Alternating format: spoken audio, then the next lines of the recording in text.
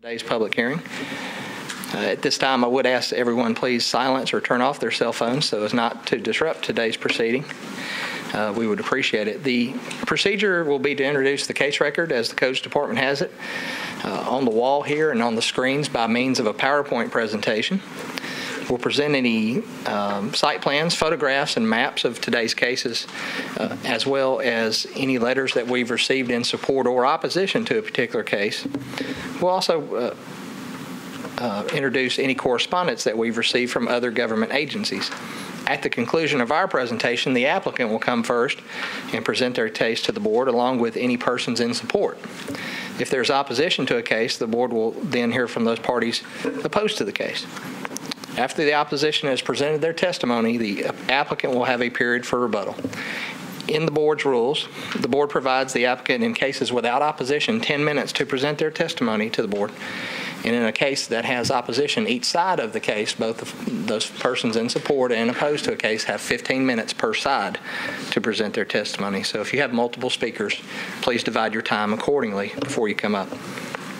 All section numbers that we refer to today come directly from the Metropolitan Zoning Code, which was adopted by the Metropolitan Council and became effective January 1st, 1998, and applies to the entire jurisdiction of metro government. I'll introduce and make a part of the record the zoning code and will dispense from reading individual sections unless the applicant or opposition requests that those sections be read. The zoning code requires that these proceedings be taped. Therefore, it's imperative anyone wishing to address this board, please come forward, identify yourself, and make your presentation. It should be noted that it's found that anyone's presented false or misleading testimony to this board that may have affected the board's decision. Any approval may be revoked at a later date by means of a show cause hearing. The board will go through all cases set for public hearing today, and after each case, the board will discuss and then vote on that case. The board is vested to act, uh, with the power to act on these cases before us is outlined in Section 1740, 180 of the Metro Code of Law. The code requires that four members of this seven-member board be present to constitute a quorum. The code also requires that you have four affirmative votes to grant your application. Today, we have six members present, so you need four of these six members to vote for your case for the case to be approved. In the event that only four members are present or that there are only four members that hear your case, uh, and you fail to achieve all four of those votes, the case will be reset and re-advertised for the next available public hearing cycle. Uh, In the event there are five or more members present or hear your case, and you fail to achieve four affirmative votes, your case will stay on our agenda for the next 30 days.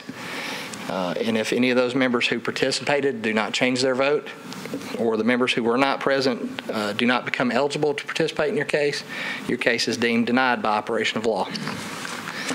The applicant or any aggrieved property owner may request a rehearing within 60 days of this public hearing. Further, an applicant or any aggrieved property owner may appeal this board's decision to Chancery or Circuit Court within the same 60-day period. After that time has elapsed, the board's decision is final, and no further action may be taken. If you're an applicant your case is granted, it is necessary for you to come and pick up the permit for which you've applied. Uh, You have two years from today's public hearing to obtain such permit for this board's approval to remain valid. Uh, After two years, if you do not pick up your permit, you have to come back and seek approval. Uh, Mr. Chairman, I submit that all cases were filed in proper order. Applicants were notified by certified mail as required by the code. All affected property owners were notified by first-class mail, and a legal ad was published in the Tennessean as required by the code. And before I begin, the, the board does allow elected officials to address the board, should they wish to. Um, I do see one council member here. Are there any other elected officials present? Councilman, would you like to address the board before the hearing begins? Should I do that now, If you like to. You, you, you can do either. Uh, I'll just wait until the... Okay, all righty. And preliminary announcements, Mr. Chairman, I do have one uh, preliminary announcement. The, um,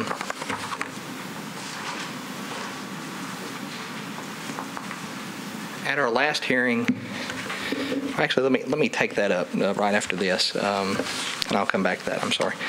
Uh, The board has a consent agenda, and a board member reviews the record in, prior to each case, uh, and if in their opinion the applicant meets the criteria for the uh, relief they've requested, and they feel that testimony in the case will not alter material facts, they recommend the case to the remainder of the board for approval.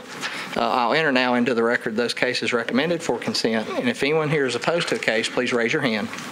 and we will remove that case from the consent agenda and hear it in its regular order. And the first case recommended for the consent agenda is 2012-43, Mr. David Grisham, 1807 Electric Avenue. Is there anyone here in opposition to the case? Okay. We do have opposition. We'll hear that case in its regular order. The next case recommended for the consent agenda is case 2012-46, HCA Realty, the appellant and owner of the property at 55900 Crossings Boulevard, requesting a variance in the parking requirements uh, to construct a new data center. Is there anyone here in opposition to case 46? Mr. Chairman, seeing none. Um, This is a parking variance. Traffic and Parking has recommended approval for it. Uh, The applicant also wishes to utilize the provisions in the code for deferred parking. Uh, Should they need the code required amount, they would construct such. And uh, with that, you recommend that case for consent agenda. And then finally, case 2012-47, uh, Ms. Luann Elrod is the appellant, uh, Burton Elrod, the owner at 5036 Brevity Lane. Is there anyone here in opposition to case 47? Mr. Chairman, seeing none, the um, the applicant's requesting to construct a new front porch. Um, The irregular shape of this property necessitates the need for variance, and uh, the addition actually would, would cause the home to line up with the homes adjacent to it. Uh, There's a plat setback on this particular lot that's much deeper than the adjoining parcels, and were they all uniform, she would be able to build this.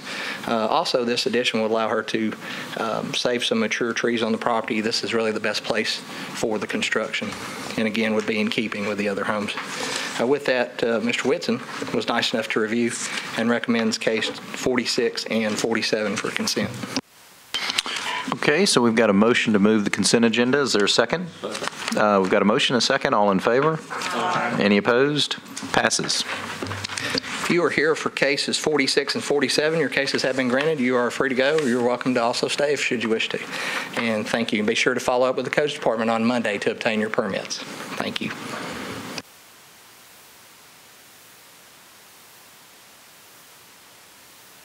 Okay, Mr. Chairman, I'm going to call the first case. If the applicant will come forward, uh, each side will have 15 minutes to present their testimony, and the applicant will come. will Hey, come Joey, first. did you want to handle that other case, or? Uh, Yes, let me do,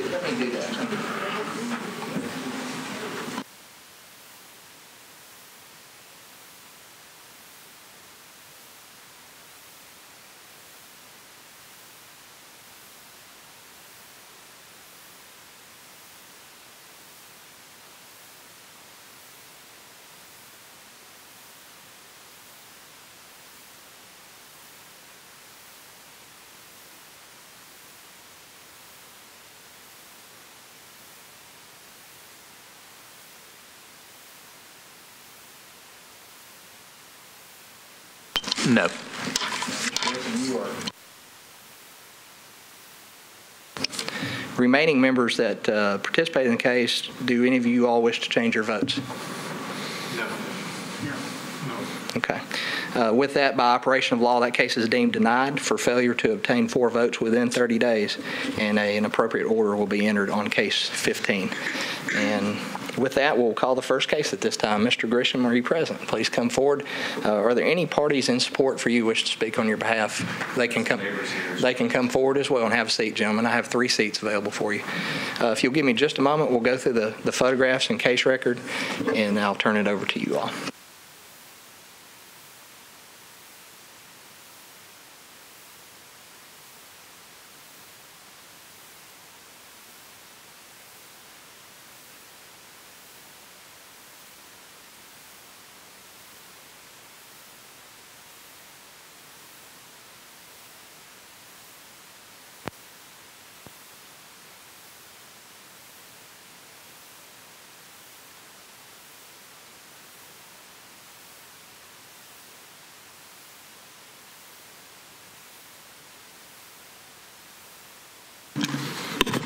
Okay, the uh, subject property is located on the uh, north margin of Electric Avenue between um, South 18th Street and South 19th Street in East Nashville.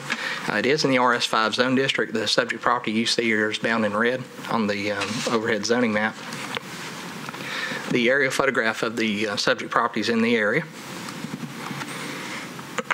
Excuse me, the nature of the variance request before you today deals with the construction that occurred here uh, to put on a front, covered front porch in the gentleman's home.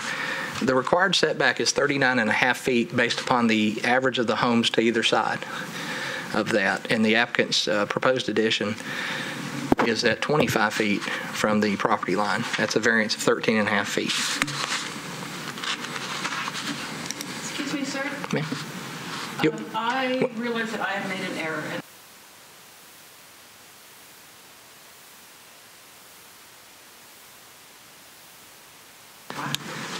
With that being said, Joey, can we uh, move back to our consent agenda? Uh, With that, uh, before I do that, call for, is there any other opposition present to case 43? Mr. Chairman, seeing none, uh, with that, we'll, we'll- Mr. uh, Whitson's motion for consent uh, stands on the table. I do need another second, please. We've got a motion and a second. All in favor? Aye. Any opposed? Passes. Guys, your your case 43 is approved.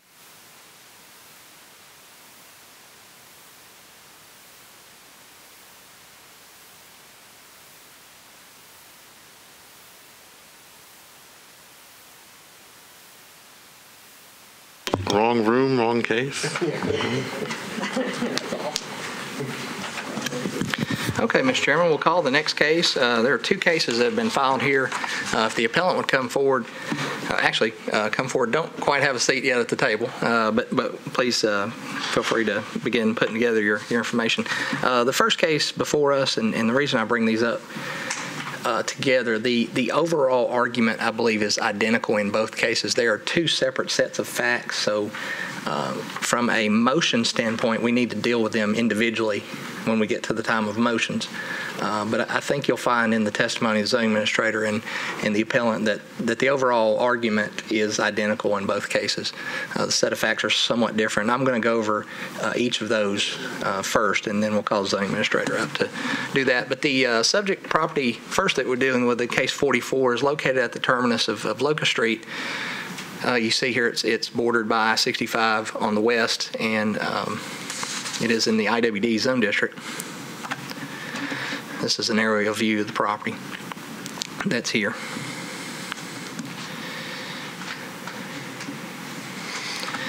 And the, the, the issue is that the, uh, and not to take, take any- Terry's time from him, but the issue is this, the, the billboard that is here is legally non-conforming. Uh, and it is legally non-conforming as it sits today in its relation to the proximity of other billboards. Uh, that the zoning code provision requires today that there be uh, 750 feet between billboards. This this is is clearly closer uh, to an existing billboard, and I will. And it's non-conforming.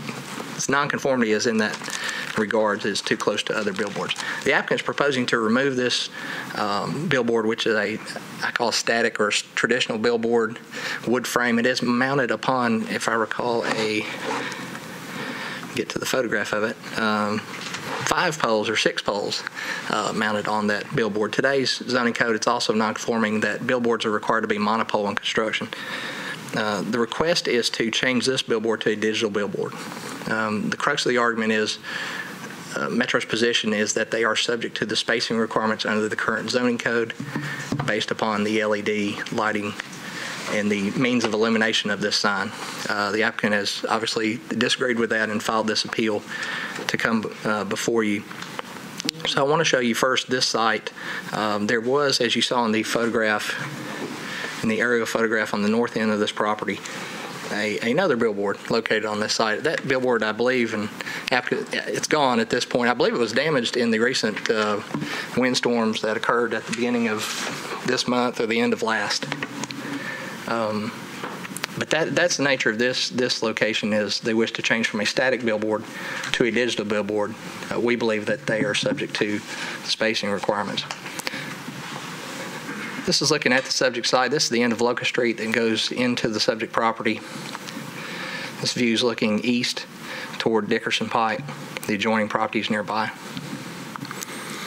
And then the uh, subject billboard location, I believe, is in the upper left, and the former billboard that also occupied this site on the north end of it, as you see on the ground there.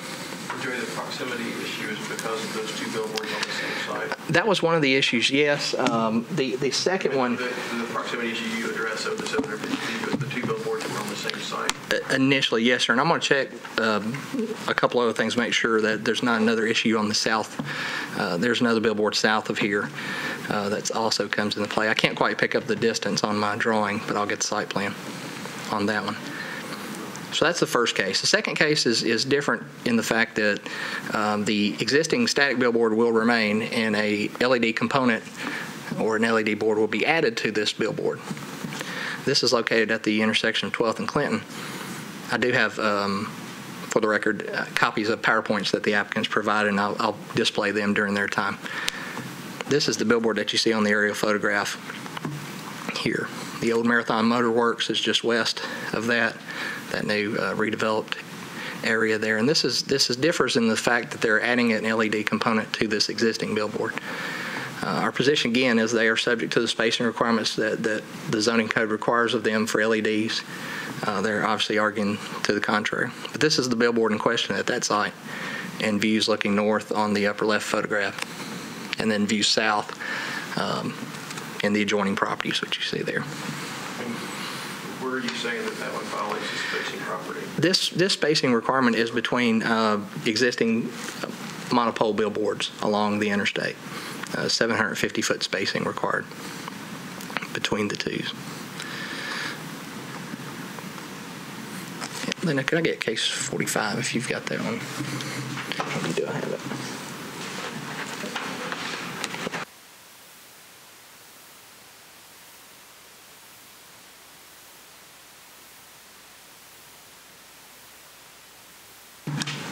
Taylor, let me, let me correct myself. On this particular billboard at 12th and Clinton, the nonconformity in it is raised that the, uh, the LED sign is too close to residentially zoned property. It's 788 feet to the south and 760 feet to the north, and there's required to be 1,250 feet. Um, Again, the applicant's position, they are not subject to those requirements based upon uh, TCA.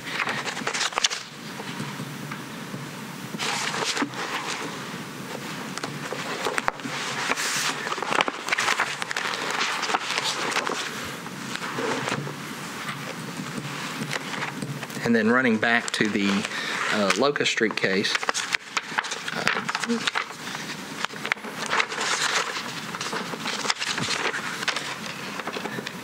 the issue there is its distance also to residential, but uh, distance to other static billboards and digital billboards within the, within the area. Look at, taking this site plan to give you some numbers on these numbers listed here. The proposed billboard location, our code requires that LEDs be 2,000 feet from any other LED billboard. Uh, The the uh, digital billboard being proposed um, here will be um, 1,257 feet to the nearest digital billboard. So it would be too close to that. Is also its distance to the residentially zoned property is at its closest point um, appears to be 577 feet to some residential property located here. So that's the, the distance you're looking at there is 577, 1257. And let me correct my, my mistake here. I see that on the plan now. The uh, billboard that's proposed to remain is the one on the south parcel. This billboard here, according to the applicant's drawing, is going to be removed. And the one that was destroyed uh, and replaced would be this one on the north end of the property, according to their site plan.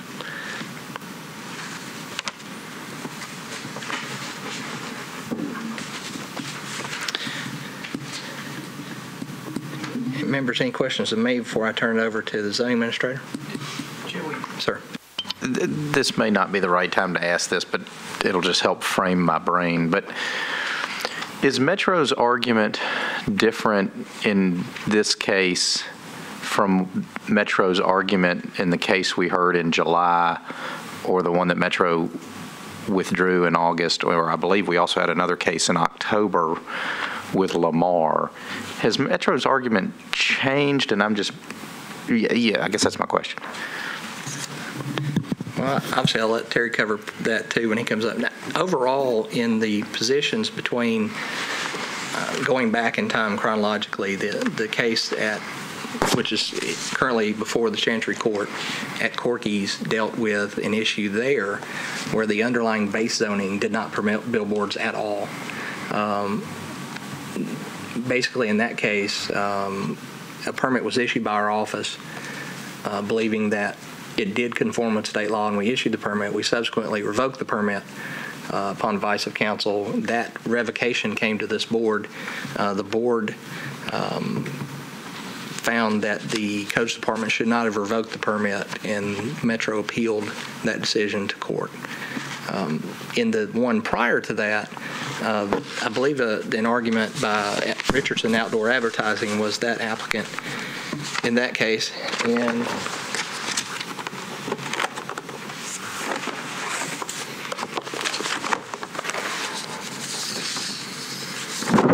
board found that the, well, the zoning administrator in that case believed that the change of, from one billboard type static to an LED required them to conform to the uh, requirements that are being discussed here. So the argument from Metro's side, it, it not changed. The zoning board felt that the zoning administrator erred, overturned it, uh, said that the board could be converted to digital. Metro then filed suit against the board. The applicant in that case withdrew their request and replaced it with a tri-panel billboard, which is considered static. Um, So I hope that answers your question. It, it, it does. So from an intellectual standpoint, Metro's making the same arguments uh, again, and the status of those cases is one, we ruled in favor of the applicant and Metro appealed our decision, and then the other one, we ruled in favor of the applicant and Metro is currently appealing our decision again. Is that,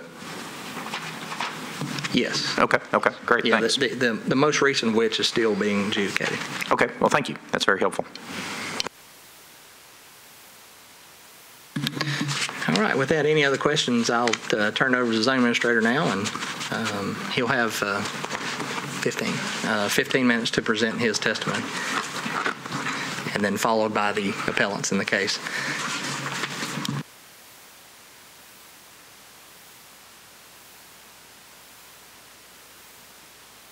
and before you today in the acting capacity as Metropolitan Zoning Administrator. Um, Mr. Whitson, your line of questioning is exactly on target. It does uh, cover this case uh, very, very much like uh, the prior case that was before you concerning the Richardson Outdoor Advertising and the site at Bell Road, uh, which was a spacing issue if you were proposing to convert the static billboard to a digital board. And uh, I have written a letter, uh, it's in your packet, um, to address the uh, position of the uh, department. But it is based, uh, as it was with the Richardson Outdoor Advertising case, upon an opinion issued by the Department of Law, uh, which uh, their position, I think that, that letter, although there have been some fine fine line changes uh, over time in their position. That letter started in, I think it was December of 2008 is when that opinion was originally issued. Uh, But the spacing issue is the crux of the matter. Uh, The legal department's opinion uh, and their advice to us uh, from December of 2008 until today is essentially that if you propose that if you have a legal nonconforming static billboard, that you can replace the legal nonconforming static billboard either voluntarily or involuntarily uh, based upon the uh, protections afforded that use under 137208. But if you go to a digital type billboard, if that's your proposal, then the legal department's advice and, and our position before you is that uh, it is subject to the spacing requirements set forth for digital billboards. Um, that's, uh, that's the position we've taken. That's what brings the case before you today.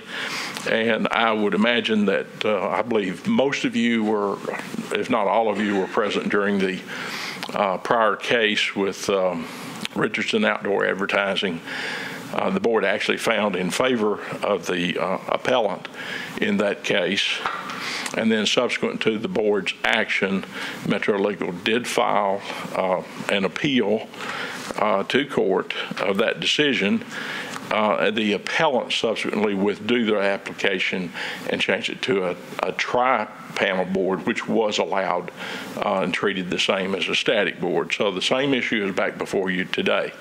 And it it deals strictly with the spacing elements as Joey described them to be um, have, you have to be 2,000 feet from another digital board. You have to be, and I'm sorry, and I don't recall, and Joey's not here, it's 750 or 1,000 feet from another static board. But a digital board also has to be um, uh, 1,200 feet from a residential use. And that's in play in both of these as well. So that particular element is somewhat different than what was before you uh, with the uh, Richardson appeal. Uh, But the 2,000-foot spacing distance is the same as the Richardson appeal. Mr. The Cobb. 1,200-foot spacing is a new element. Can I ask you a question about this? As in my law practice, I've only handled one billboard case and actually dealt with spacing between billboards, and I know that's a very complex um, legal question. But let's get into the public policy questions of 2,000 feet, 1,200 feet. What's the reason for that, and why has Metro in the past appealed these rulings of ours? I, I don't know if I can begin to explain why Metro has appealed these decisions. It's the Metro Legal Department's position. Okay, well, that's probably an unfair question to ask. Uh, And it was their action, not, not the department's action, nor the board's action that prompted the appeal. Uh, In fact, um, for Metro to appeal its own ruling is a pretty unique circumstance Pretty rare, pretty rare. uh, pretty rare. And, and in my 22 years with the codes department, I think I've only seen it those times that's been described. Oh, what a fine group of people we have here, Yeah. overturned by our own government. I We're understand- groundbreakers. I understand there may be two other examples of where Metro has appealed a decision of one of their boards uh, or commissions. Uh, One time, I think, was with the Traffic and Parking Commission, and I don't recall the other one specifically, but they, they predate my uh, employment with Metro. So the- Uh, So that gives you some idea how rare that So the occur- how rarely it 1,200 feet between residential areas, is that because these billboards are deemed to be not good in residential neighborhoods, or why is, it- why is that number so important? Well, that's, that's before you because that, um, that is a zoning code that was, or an amendment to the zoning code that was added subsequent to the boards becoming legal nonconforming and having that status.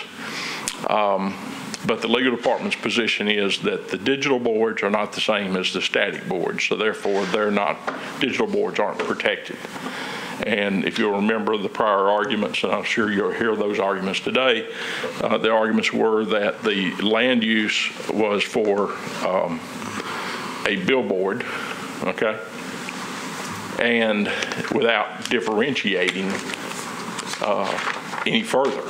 That's what the zoning code gives the definition of a, a billboard as off-premises advertising uh, or outdoor advertising, you've heard it described. The council differentiated subsequent, uh, just a few years ago, they differentiated between the requirements for static boards versus digital boards. And, and it was all about, uh, Mr. Ewing, the impact uh, of digital billboards upon residential areas. So you're saying in this case, I mean, even if we don't agree with the 2,000 square foot distance between billboards, you're also saying that this 1,200 foot rule applies because this would be a digital billboard, and they're not allowed within the 1,200 feet. that's my understanding of this case. I don't think the 1,200 square foot spacing applies to a static billboard, but it does apply. So if they were to put up a static billboard, we wouldn't be here That's correct. for either one of these. And I think if they were to put up a changing Trifold. message tri-panel. We wouldn't be would here not either. Would not be here. The, the council ruled on that as well. Mr. the spacing's 2,000 between digitals. Yes.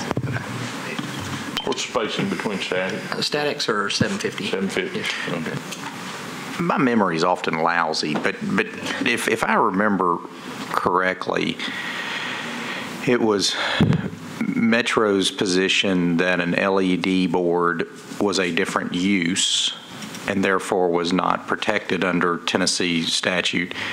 And our board ultimately determined that an LED board is still a billboard under Tennessee law, and therefore it is the same use. And so if I remember, Metro's saying different use, and this board found same use because it's a, because it's a billboard. A a billboard's a billboard's a billboard uh, under Tennessee law. And if my memory's wrong, somebody correct me, but I- I'm, I'm just trying to get this down to as fine a point I. I mean, I I remember the Metro uh, legal advisor that was with us the day we heard the Lamar case saying that, uh, you know, a billboard's a billboard's a billboard, and they didn't see a a difference between static and digital in terms of, is it a sign? Um, So I don't know how that, Its use is outdoor, outdoor advertising. You're right. So it didn't change use is where we came to, and I'm not saying that was, outdoor advertising. yeah. And, and I'm sure not trying to make this shorter than it needs to be. It's just, in my, from where I sit, we keep getting these sa- same cases. We keep ruling the same way. Metro's appealing us, which is fine. That's their right, and we would love guidance from a court. And I'm just trying to figure out if there's any difference in this case and the other cases, because that, that's, I'm just trying to get it down to its brass tacks. I mean, the one, the one difference that I do hear you talking about is, is the, uh, the distance. And it, while you were talking about, you know, I'm, thinking about, you know, a grandfathered you know, someone has a billboard, um, they want to change it over, but, but, you know, there's another billboard down the, down the way within 2,000 feet. Um, and is it kind of the case of who gets there first? Um, you know, I mean, how, how are you supposed, or how should, how do you recommend that we look at these uh, cases where, you know, essentially someone converted first and now we're at being asked uh, you know, but just because it's been there, if we believe that the uses are the same, um, are are we penalizing someone because another billboard converted before this one did? Does that make Two things. One, my, my recollection of the case and the board's decision is exactly as, as uh, Mr. Whitson has presented, uh, with one possible caveat being that you're ruling that under state law, a billboard is a billboard is a billboard. Uh, My recollection was also that under Metro law, you were making that determination. Uh, There was, there was some discussion subsequent to your decision uh, that took place about whether or not the board had the authority to interpret state law, okay? But my understanding of your decision was that under the Metro zoning code, a billboard was a billboard is a billboard. And, and that would also be true under state law. The Metro Legal, uh, in filing the appeal, which was uh, ultimately, uh, the, the whole issue was, or or appeal was a moot uh, appeal, and, and it was resolved uh, without clear direction and decision from the court. Um, With regard to the distance requirement on residential, from, from a digital board to a residential use, uh, is pretty much the same as the distance requirement from one digital board to another digital board in that this language in the zoning code was added subsequent to uh, either of these particular billboards gaining legal nonconforming status. Okay? So what you're, they're quite similar, they're just two different ways of measuring. what you're saying is the Metro Code does differentiate between a regular billboard and a digital billboard in certain places. The Metro zoning code today does. Yes. Yes. And what places are those that a digital is mentioned separately as it relates to distance between two digital billboards and then a residence? Is that the only? Billboards have to be located 750 feet from one another. Digital boards have to be located 2,000 feet from one another. Uh, But digital boards also have to be spaced 1,200 feet from uh, a residential use. Are there any other mentions of digital boards that are different from a normal digital board outside of those two areas? No, sir, not that I'm aware of. As far as restrictions, I guess. is So- what I'm saying. And the, and the section that deals with this is 17.32050, and and it's actually in the prohibited signs section. Uh, And, and I think it's important, let let me read this in the record. It says, um, it says that, um, reading it, 1732.050G, uh, signs with copy or graphics or digital displays that change messages by electronic or mechanical means uh, where the copy, graphics, and display does not remain fixed or motionless for a period of eight seconds. So there's an eight-second provision of these digital billboards. They, they can't flash their messages faster than eight. The council originally passed it as two seconds, and they've amended it now to eight. Uh, But it talks about, it says that um, these, these um, electronic shall not be permitted in these zone districts, and it lists, lists out zone districts where they are not allowed. Uh, This is one of those. It says in IWD, IR, and IG, and I'm, I'm quoting those sections. This is industrially zoned property uh, in the first case, uh, and I believe the second as well. But it says unless, and it gives you, you can, you cannot have them unless you meet these requirements. And it spells through that, uh, based on the height of the structure, you've got to be so many feet from a residential zone. Uh, It says that signs four feet or less in height have to be 100 feet away, and then for each additional foot in height, you have to move an additional four feet in setback. Uh, Excuse me, an additional 25 feet from a residential zone district. So basically, what we've said is, they're not different uses.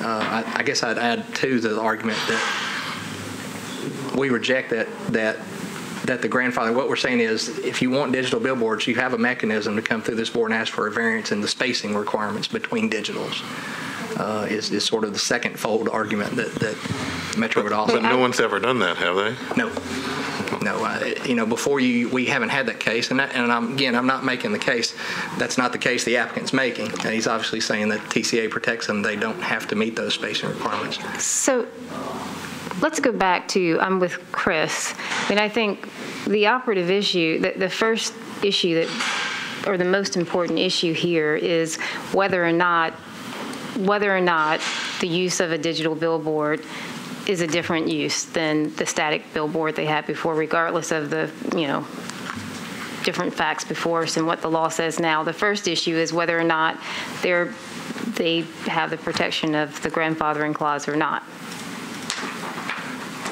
I believe you are correct. Okay. And then that is, and then that is the same, the, Ultimately the same issue. the very same issue that we have every time. Yeah. This is our Groundhog's Day case. Well, since it is, is not a matter of settled law, there is an appeal still pending. Uh, The department's position is today as it was in the prior cases.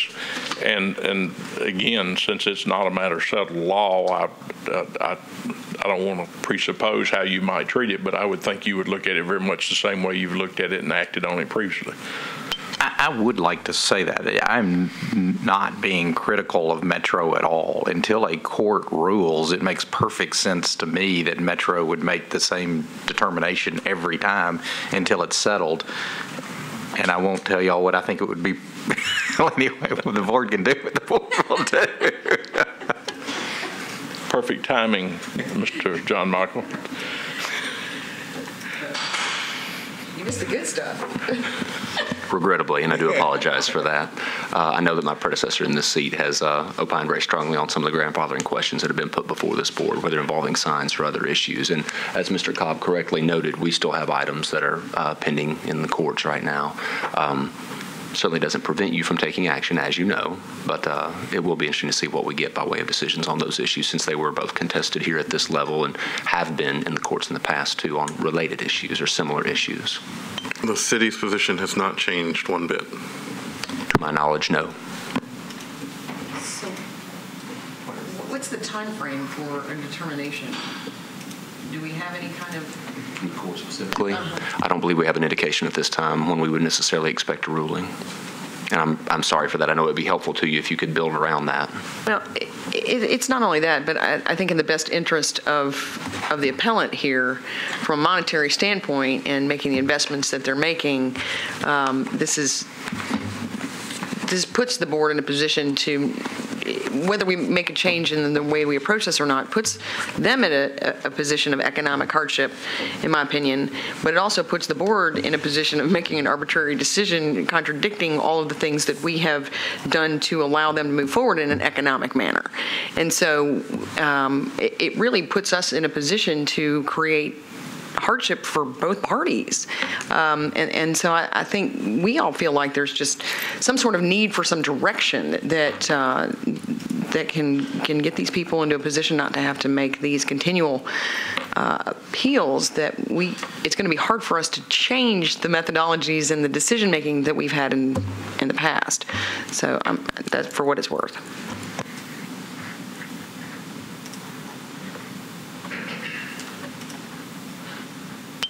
Any other questions of Mr. Cobb? Okay, then I think we're ready to probably hear from the applicant. Okay. If the applicant come forward along with any parties in support,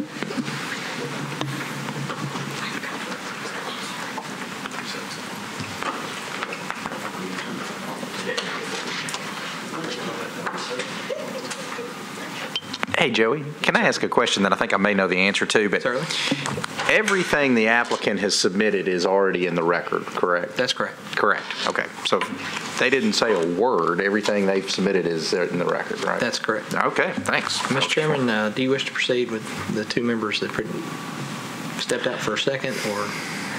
That would seem like an unwise idea, so no, I think we better wait for them. Okay. Uh, With that, the board will be in recess for a couple minutes. Thank you.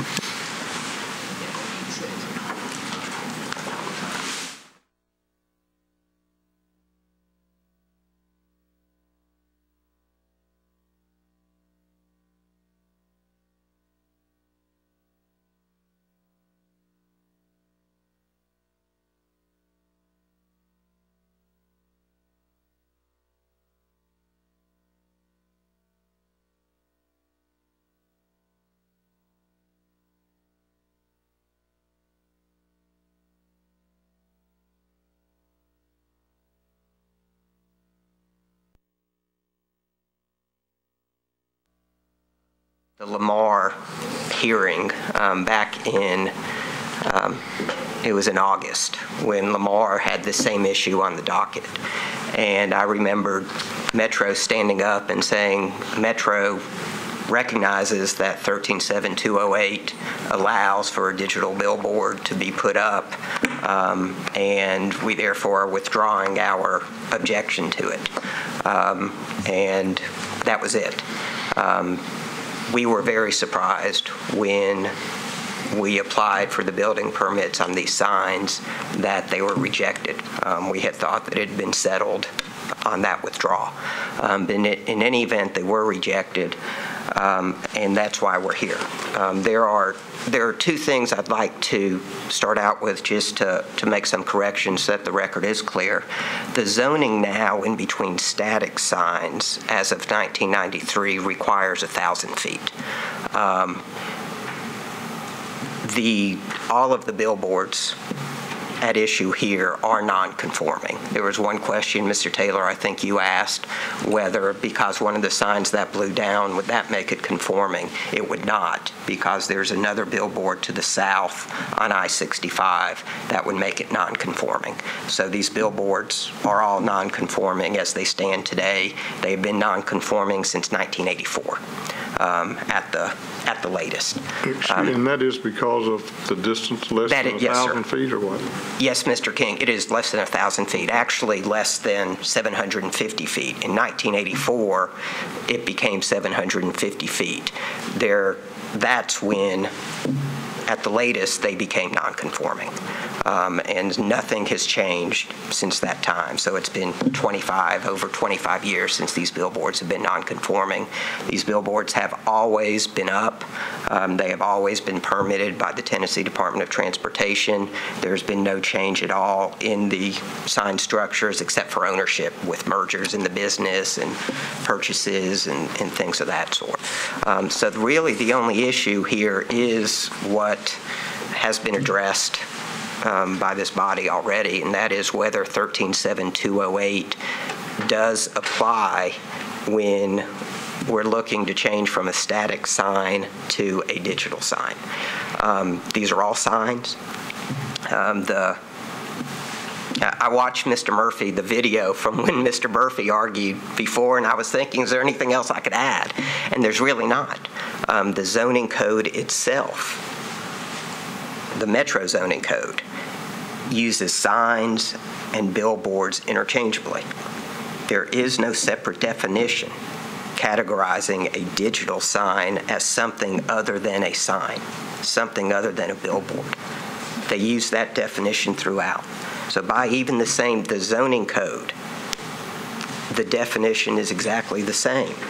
A- And But let me ask you this about being the same. Yes. Isn't there a big difference between a digital billboard and a static billboard or trifold billboard? No. Um, It is the exact same thing in that the use is for advertising. And let let Well, I me, understand that part, but just, you know, one is just kind of a flat screen, maybe lit at night. The other is a digital image that changes and can put all sorts of images on there. It- There's no difference between those two? the means of showing the advertising is different. Yes. I mean, one is electronic and one's not electronic. Um, But what it is used for is exactly the same. It is used for advertising, and that's what the definition that the zoning code uses for billboards. Why do you think there's different rules related to digital billboards versus static or trifold then, if they're the same?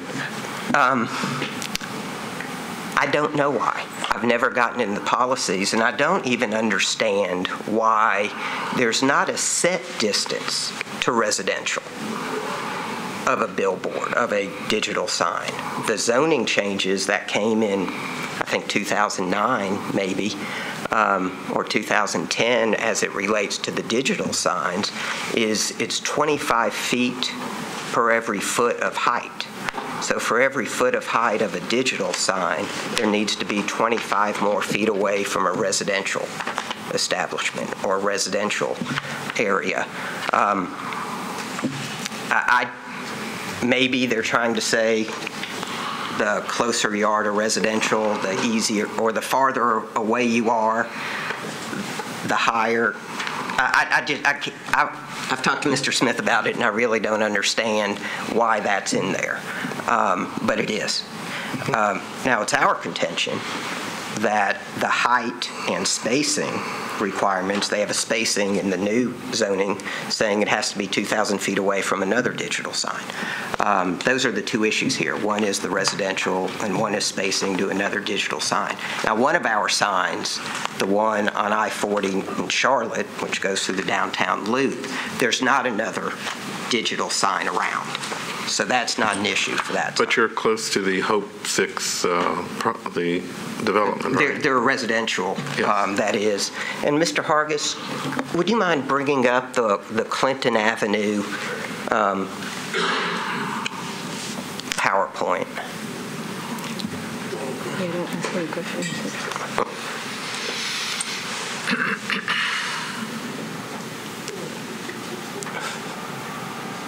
Uh, If you'd go to the next slide, please. Um, And I- the slide that is up here um, shows a, from the proposed digital sign, it would be 787 feet to a, the closest residential area. Another residential area is 788 feet, and another residential area would be 872 feet. Um, in order to get a digital sign, we could put a digital sign there and meet those, but it would have to be so short that it essentially would be underneath the level of the interstate. So obviously, a digital sign there would not work, but it wouldn't prohibit a digital sign. Uh, We we could put a digital sign there, um, but it wouldn't be, um, no one could see it. And it's kind of an arbitrary way that they've, that, that the zoning code is put in. Um, And that's why 137208 is specifically there from the legislature. It is to prevent um, local zoning ordinances from blocking businesses from doing what they need to do. Um, And that is expanding, as y'all are aware of 137208, um, keeping their businesses going. There is, we submitted a lot of proof through the affidavit of, of Mr. Smith about the necessity for these digital signs.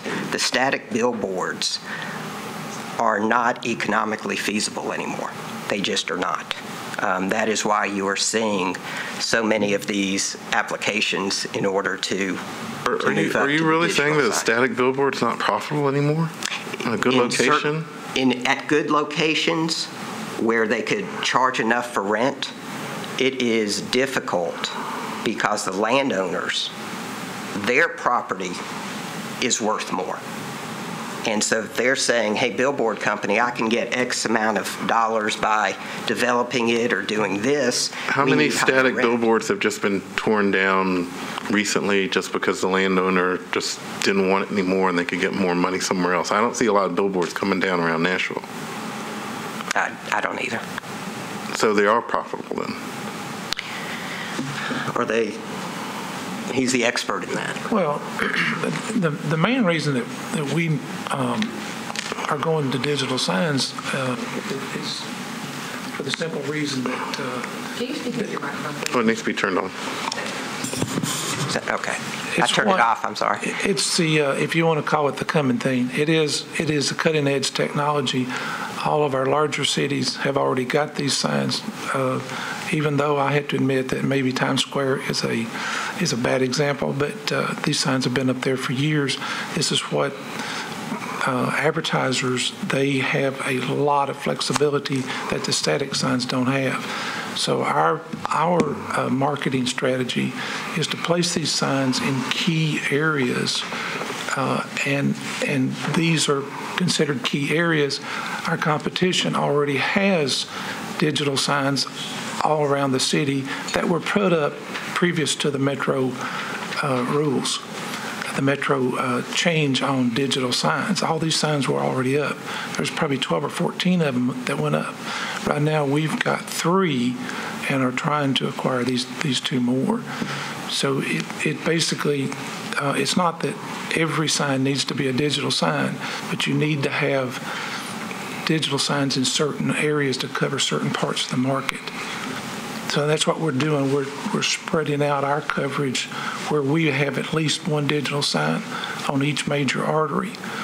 And, you know, just from the pure economics, uh, whereas if I have a single face sign that has one customer, if I have a digital sign that can have up to eight customers. Right. I know you'd make more The ma- money the off math- of that. The the math- question I had was, you know, you said that these weren't profitable anymore. And I, I don't think I- that I- that's correct. Thank you, I probably misspoke. Um, And where it is, is competition is getting more and more intense. And I do think a lot of these signs are becoming non-profitable um, in certain areas. Not all of them, of course. Um, In the, the majors, Right. What's really happening is we have, um, uh, we- we have people that recognize our business as being a, a, um, a good business to be in at certain times. And we have people coming into the market that are talking to our property owners and offering them staggering amounts of money. So it's almost to the point that on the one hand, we're trying to tell them we can't pay that kind of rent.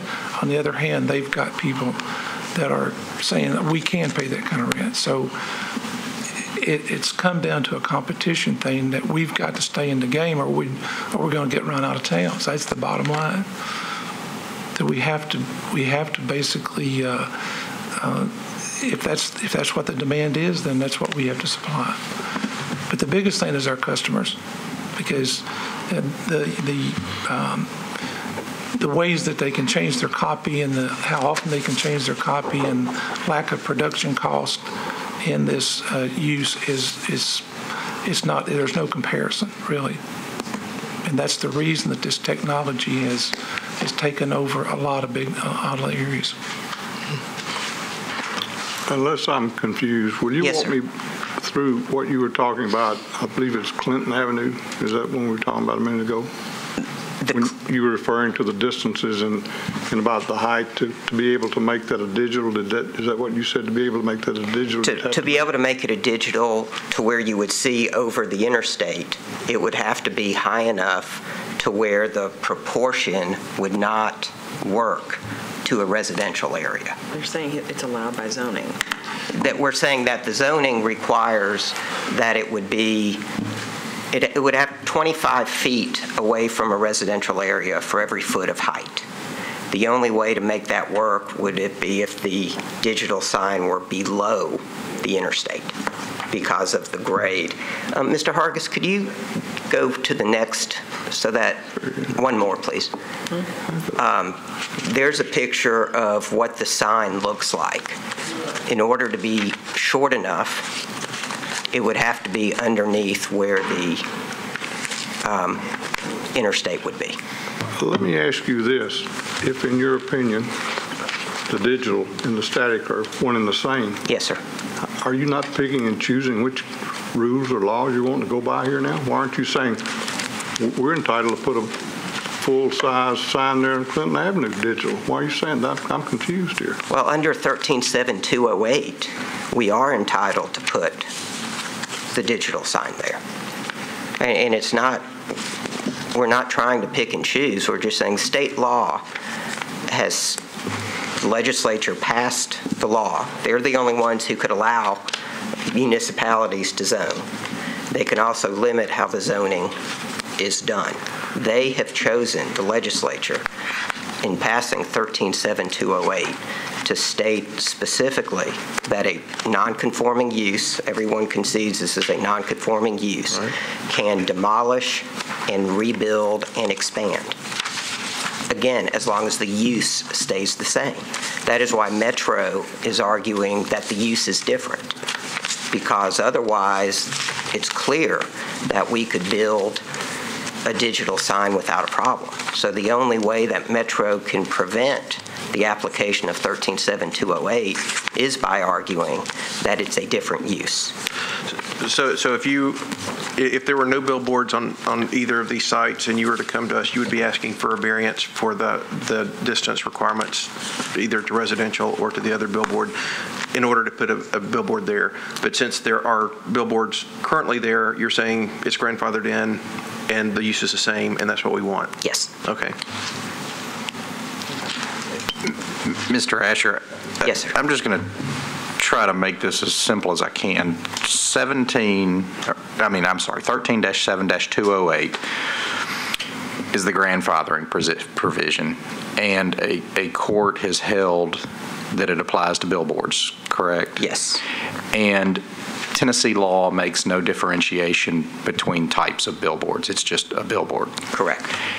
And Metro's own zoning code makes no differentiation between billboards. They're just billboards, correct? Correct. Okay. Then Metro passed some other restrictions to this, you know, LEDs, which is not differentiated from other billboards. They just added on different restrictions. So I've been trying to think of an analogy. Wouldn't this be as if Tennessee law protects single-family homes? Period. That's just the words. And then Metro came along and said, well, a ranch is different than a Tudor, is different than a colonial, is different than anything. But unless Tennessee law recognizes that differentiation, doesn't, I mean, because we all know Tennessee law governs, correct? Correct. Okay, so I really, I mean, to me, this is just I mean, no offense, ju- I mean, it's simple. I mean, it's- I, I agree, and that's why I, I wish we could have done a poll before I actually, I didn't want to waive an argument by not arguing.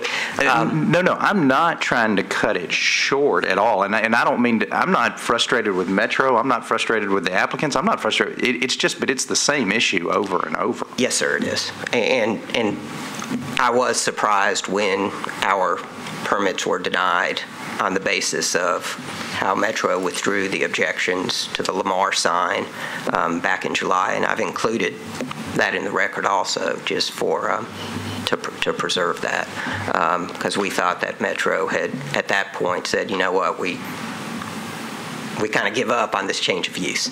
Um, and so, but that Metro is contending that it's a change of use, um, but this sign is exactly, as you put it, a billboard is a billboard is a billboard. Metro defines a billboard as a billboard as a billboard. Um, There are different rules for different types of billboards, but that doesn't change that Metro considers a billboard to be a billboard to be a billboard. And the law There was a recent Tennessee Supreme Court case in 2010, not applying to billboards, but emphasizing that 137208 is a very strong statute, and that local ordinances do not trump that statute. It's the other way around. So I really, I don't mean to seem frustrated with anybody. It's just until the court rules, we're kind of in this stagnant area, and it seems like we're just going to hear a bunch of these cases until the court rules, or, or some anyway, I guess. Um,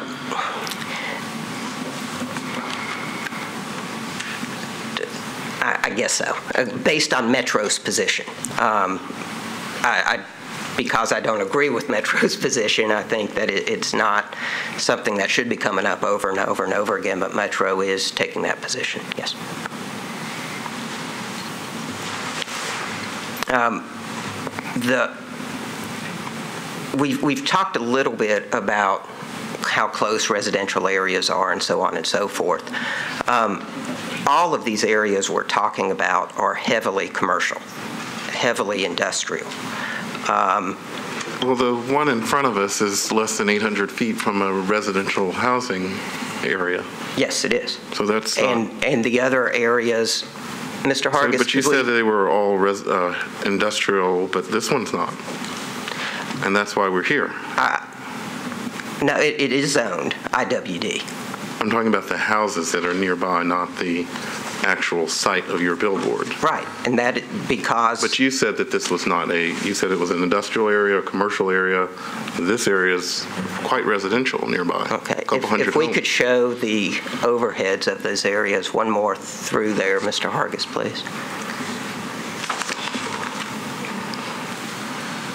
These are videos or pictures of that area. One more, please. If you could do one more. Well, that's it. Um, How about, let's go to the Locust Street one, please. There you go. There's the overhead um, showing the warehouses, the commercial can- area. Can we go back to the um, one next to Marathon and do that Google map and show where these houses that we're talking about are?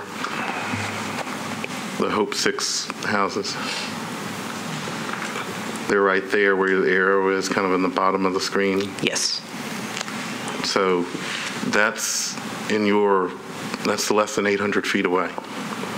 That's, a- there are hundreds of people that live over there. Yes. It's residential. That area is residential, yes. Yes. Yes. And that's what my point is. But it's not a predominantly residential area. But it's residential. I mean, well, predominantly, the other area over here and over there is residential too. That's um, Hope Gardens. And, and Mr. Ewing, if, if the residential had by chance been, let's say, 300 feet further away, Mm-hmm. there would be no problems at all with any of these.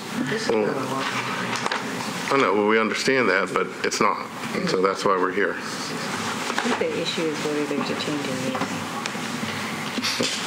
And, and He's asking for a variance or we're, we're not asking for a variance, Mr. Ewing. We're not. interpretation. This is interpretation. This is an item A appeal. Um, And I think Metro raised the issue that what this really should be is maybe a variance, but we're not asking for Okay, a but variance. the item A appeal deals with the length of the distance between your sign and these residences. It, no, it, it deals only with the interpretation of the zoning ordinance, and the zoning ordinance is being interpreted, interpreted in this instance to say that these ordinances apply to um, a digital sign because it's different than a static. Right. That, that's the interpretation. And the reason, I, in my opinion, that that is in there is digital signs are deemed differently by our zoning code because they have different impacts on residential areas than static signs. I don't know why Metro has chosen to do it the way they have. But they have. Th- They have. And that's why I'm emphasizing the residential part because that's why we're here. And why we're here is we're saying under 137208, Metro cannot do that to a pre-existing non-conforming use. I I just, just to raise uh, our awareness here at the board, one of the very first cases we all heard together was the uh, Bell Road, uh, same situation, but it was less, it was like adjacent to the property. I think it was less than 500 feet of an issue of residential. I completely understand that, but I- but from a consistency standpoint, what is it that we're looking at as far as, is this a acceptable, non-conforming use covered by the- the state law? Is there a change in use? Right, well, that's what we will That's the- that- I- I determine think that's- during our discussion That's what and I'm saying. I think deliberation. we ought, that consistency issue is, is definitely something we need to Um, Unless consider there- deliberation. Unless there are any other questions, um, I I think I've answered everything.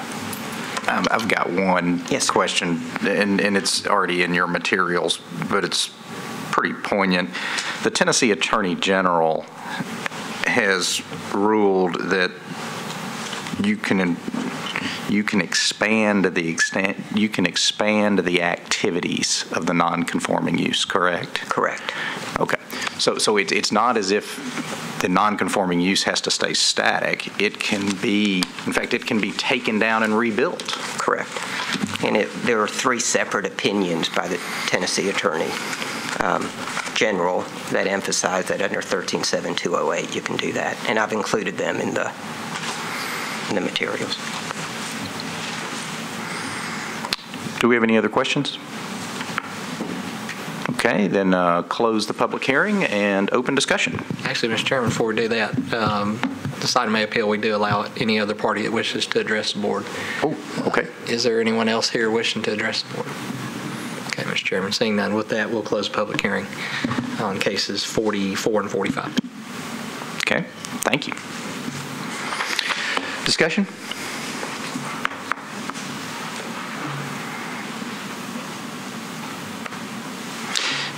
Y'all may not know my position, so I'll go ahead. Thank you, Chris, for coming back and giving us a levity. Uh, Okay, my position in a nutshell is that the grandfathering provision of the Tennessee Code trumps Metro. We have a non-conforming use. We have an Attorney General's opinion that a billboard falls under this. We have an Attorney General's opinion, actually, we have case law that says it falls under this. We have an Attorney General's opinion that they can expand and they can certainly take it down and rebuild it, all according to the Attorney General. There is no differentiation under state law with respect to billboards. Under Metro's own code, there's no differentiation of billboards, but to me, that's not the operative fact. It's really whether Tennessee has a differentiation between billboards, and they do not. I do not get my feelings hurt at all that Metro is appealing this decision because they obviously disagree. But we as a board have ruled the same way three times. So my concern would be if the board changed its position prior to a court telling us that we were wrong, then we could be accused of acting arbitrarily and capriciously. Motion? Oh, oh, is that a motion? No, no, no, no, that, that's, that, that. that's just my thoughts for the record. I mean, and so, but, I just have to say, yeah, what he said. I mean, truly, that was eloquent. If if you could It was repeat that, beautifully I'd make done. that motion. We'll make that motion. I'll second that motion. I, I previously did not support this, and I do feel that digital billboards are different from regular billboards, and, you know, clearly, they could have a billboard on this site under law, but not a digital one. And so I think that's where the difference is, that we're not telling them they cannot put a billboard there, we're telling them they cannot put a digital billboard there. And that part, I don't think is inconsistent with state law. And I agree, and it it may be, a- they both may be signs, they both, both may be billboards, but to me, a digital billboard is more impactful on the surroundings than a static billboard is. And to me, that's an increase in the uh, non-conditional use, so I And I'm going to come back to words have import. And when, um, when there's a need to distinguish between things, the code makes that distinguish, I mean, that distinction. It does not do so in this case, and a use is a use. A change in, a, a change in the means of delivery is not a change in use. And so if it was intended that a change in the delivery of the use was a change in use, it, it would give us that guidance. It doesn't. So for that reason, the use remains the same. It's still a sign and a billboard. And for that reason, Chris, if you'll make that motion with that eloquent, uh, My motion's actually pretty simple. I am going to move um, that the board find that the zoning administrator acted in error, not arbitrarily, but in error. Um, Is there a second? I second. Okay, so we've got a motion, we've got a second. All in favor? Aye. All opposed? No. No. Okay, we better raise our hands on this. All, all in favor? Aye. All opposed? No, and I think the court reporter should put down who's in favor and who's not. I think she did with the ayes and the noes. But Okay, great. Uh, Congratulations. Oh, Well, thank you. And and Mr. Hargis, do we need separate motions for the separate since they were actually two? I do, please. That is a darn good point. Uh, is For the second, for the second case, which I believe is 45, I would move that uh, the board find that the zoning administrator acted in error. Is there a second? I second. All in favor? Aye. Uh, All opposed? No. Okay, you win that one as well. Thank you. Carries, thank you. And with that, the Board of Zoning Appeals is adjourned today. Oh, uh, What are we doing ourselves with all this time? members, if I could, before, members, before y'all depart, um, by our rules, we have officer elections in May. Uh, The way our schedule has fallen, we will not have but one May hearing as May the 17th. So at our next meeting, that is our next meeting, uh, we need to have nominations for both chair and vice chair. Uh, And at some point later in this year, we need to talk about some amendments to our, our rules, but that's not up next time. But uh, I just want you all to think on your own about nominations for uh, chair and vice chair coming up at the next meeting. Thank you. With that, we are adjourned.